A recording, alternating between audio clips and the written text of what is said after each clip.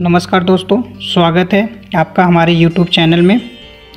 आज हम जा रहे हैं डोंगरगढ़ माता बमलेश्वरी जी की मंदिर, जो कि छत्तीसगढ़ जो कि छत्तीसगढ़ के स्टेट के राज्य राजनांदगांव के डिस्ट्रिक्ट में पड़ता है। यह मंदिर पहाड़ों में लगभग 1600 फीट की ऊंचाई पे बना है। माता जी जो कि ये इतनी 1600 फीट की ऊंचाई पे विराजित हैं। यहाँ पे जाने आने के लिए दो रास्ते हैं। जो कि दोस्तों देखो, मैं अब मेन गेट पे पहुँच चुका हूँ। यहाँ ऑटो के द्वारा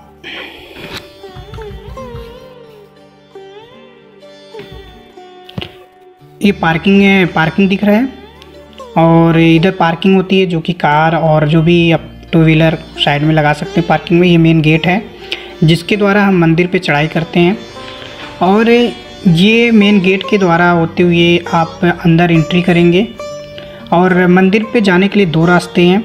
एक तो सीढ़ी के द्वारा, एक जो हिंदी में बोलते हैं उड़न खटोला, ठीक है? उसको भी उसके द्वारा आप जा सकते हैं, ठीक है? तो ये है जहाँ पे हम उड़न खटोला का टिकट कटाते हैं। इसको बोलते हैं, जिसे रूप बोला, लिखा है, जो भी यहाँ पे लिखा भी गया है। इस पर टिकट चार्ज है तीस रुपये मात्र और एक पचास रुपये टिकट है, ठीक है? जो कि अभी तीस रुपये का चल रहा है। तीस रुपये का टिकट यहाँ पे काटा जा रहा है, जो कि तीस रुपये में आप तो ये यहाँ पे करीब पाँच छः मिनट वेट करना पड़ता है और फिर उसमें बैठते हैं। बैठाते हैं अच्छे से। दो लोग इधर, दो लोग साइड में। उसके बाद वो मात्र तीन या चार मिनट में आसानी के साथ पहुँचा देता है। ये है सीढ़ी।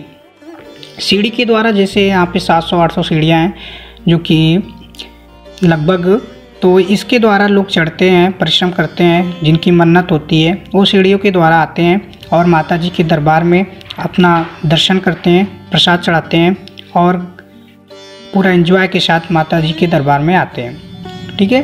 तो ये सीढ़ियों के द्वारा धीरे धीरे देखिए कितने परिश्रम के द्वारा चढ़ते हुए और मैं भी सीढ़ी के द्वारा चढ़ रहा हूँ, जो कि वीडियो भी बना रहा हूँ साथ में। अभी मैं लगभग 300 साढ़े तीन सौ सीढ़ी चढ़ चुका हूँ माता जी के दरबार में दर्शन करने के लिए। ठीक है? ये साइड में देख रहे कितना अच्छा व्यू दिख रहा है और काफ़ी ऊंचाई पे भी माता जी लगभग 1600 फीट की ऊंचाई पे विराजित हैं। जो कि बहुत ही अच्छा और आनंद लगता है। और यहाँ पे हमेशा बहुत ही भीड़ रहता है। ठीक है, बहुत ही भीड़ रहता है यहाँ पे। ये मंदिर में, ये बहुत ही प्रसिद्ध मंदिर है, जो कि माता जी का मंदिर है। यहाँ पे हर महीने लगभग लाखों श्रद्धालु आ जाते हैं माता जी का दर्शन करने। जो कि ये सीढ़ियों के द्वारा देखिए कितने आसानी के साथ हम मेन गेट पे पहुँच चुके हैं, जो कि माता जी का यहाँ से जो एक, दो मंदिर है, एक शिव जी का है और एक माता जी का मंदिर है, जो कि यहाँ पे देखिए छोटे शिव शिव मंदिर और और इधर देखिए माता जी का मंदिर है। ठीक है? यहाँ से होते हुए हम मंदिर पे पहुँचते हैं, जो कि यहाँ से मंदिर पे पहुँचने के लिए बहुत ही आसान हो गया। आप समझ लो, पूरे सीढ़ी हम चढ़ चुके हैं, अब मंदिर पहुँच चुके हैं, जो कि यहाँ पे पूरी लाइन लगी हुई है, बहुत भीड़ है, जो कि मंदिर बंद है। यहाँ पे मंदिर दो बज के तीस मिनट पर ओपन होता है। हमने पहुँच गए हैं, यहाँ पर एक बजे समथिंग पहुँच चुका था। इसलिए बहुत ही वेट करना पड़ा हमें माता जी के दरबार में। तो ये देखिए, साइड व्यू कैसा दिख रहा है मंदिर के, जो कि ऊपर मैं चढ़ चुका हूँ अभी, एकदम पूरे फ्रंट में। तो देखिए, ये कैसा दिख रहा है? बहुत ही अच्छा लग रहा है, बहुत ही सुहाना दिख रहा है। ये उसके बाद हम आपको ये दिखा रहे हैं जो कि देख रहे हैं ना, कितना अच्छा लग रहा है। छोटे छोटे दिख रहे हैं पूरा, कितना ऊपर है 1600 फीट की ऊंचाई पे, जो कि मैं बताया ना आपको। और ये मंदिर है, जो कि माता जी जहाँ विराजित हैं। ये भक्त लोग सारे जो भी अपने श्रद्धा अनुसार जो भी प्रसाद या फूल देते हैं, ये पुजारी लोग उनको चढ़ाते हैं। और फिर उनको वापस कर देते हैं।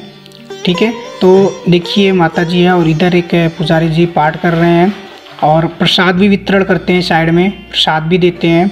और प्रसाद लेने के बाद आप वहाँ से आसानी खाते हुए चले जाते हैं आशीर्वाद लेके माता जी का, जो कि यहाँ सफ़ाई भी करते रहते हैं। और इधर एक अच्छा सा, बहुत ही अच्छा लगता है यहाँ पे फ़ोटो खिंचवाना और बैठना, बहुत ही अच्छा जगह है यहाँ पे। जो कि यहाँ देख भी रहे हैं, कितना अच्छा लग रहा है यहाँ पे। अब मैं आपको सीधे दिखाता हूँ कैसे, किस रास्ते के द्वारा नीचे जाते हैं। तो ये बनाया गया है। यहाँ पे सब चीज़ लिखा भी गया है कि इधर से जाना चाहिए, किधर से नहीं जाना चाहिए। ठीक है? आप लिफ्ट के द्वारा जाना चाहते तो इधर जाइए, सीढ़ी के द्वारा जाना चाहते तो इधर जाइए। सब एक अच्छे से यहाँ पे मेंशन किया गया है टम्पलेट लगाया गया है, जो कि ये जो हमारा उलन कटोला है, ठीक तालाब के ऊपर से जा होते हुए जाता है, जो कि बहुत ही अच्छा लगता है। और